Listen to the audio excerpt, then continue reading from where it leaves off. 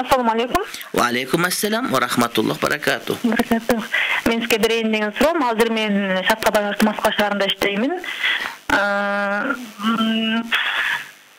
Мен намаз окуган жеримде бир аз шарт туура келбей жатат ошону сизден сурасам дегенмин намаз окуган жеримдин узундугу сексен сантиметр туурасы алтымыш сантиметр туалеттердин жанында катар бирок эшиги бөлөк тиги адамдардын кирип чыкканы угулуп турат ошол кандай туура окуп атамбы же туура эмес окуп атамбы кыбланы туура таба аласызбы кыбланы кыблам кыблам он он беш сантиметр разница болуп калып атат да анан каза кылгым да келбей атат окуй бериңиз боло берет чыкпайт боло берет боло берет окуй бериңиз окуңуз калтырбаңыз калтырбаңыз көрдүңүздөрбү илгери мага бир карындашыбыз кайрылган да күйөөм намаз окуганга каршы дейт. Мен намаз ваннага кирип окуйм киргенде сууну агызып коем дагы анан чыкканда чачымды суулап чыгам башымды жууп чыккан киши болуп ошол намазым өтөбү деп сураганчы.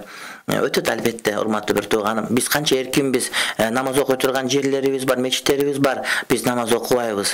Өткөндө бир чоң адамга айтсам айтат мен айттым намаз окуңуз таксир десем эми таксирим окуйбуз. Аринде сөзү убагында экен деп ушундай дейт. Да анан иштен кетип калды эми түрмөгө да түшүп калат деп айтып атат ошон үчүн урматтуу бир тууганым кудай сактасын эгерде кудай таала намаздан кача турган болсок убакыт таап берип коет бизге башка эч ишин кылбай намаздан башка ишин кылбай калат только китеп окуйсуң намаз окуйсуң эгерде түрмөгө түшүп калып дагы намаз окуй албай аткан болсоң анда сага таптакыр эле кудайым жакшылык жазбаптыр деген маселе болот демек мусулман адам баласы башына түшкөн баленин баардыгынан бир өзүнө бактылуулукту издеш керек да мисалы үчүн бакиевдин качып кеткени көп адамга ийгилик болду көп адам кошулуп качып барып намаз окуп мусулман болуп арактан алыс болуп калды акаевдин качканы көп адамга жакшылык болду көп адам түрмөгө түшүп чыкканы жакшы болду антип ошол жерде кудайды таанып чыгып атат демек урматтуу бир тууганым ар бир мүмкүнчүлүктү текке кетирбеш керек. Балким сиз кечке эле иштеп жүрө берсеңиз саясатта жүрө берсеңиз иште жүрө берсеңиз камакка түшпөй калсаңыз балким сиз кудайды таанаган убакыт болбой калмак да демек кудай таалам ушинтип убакыт берип коет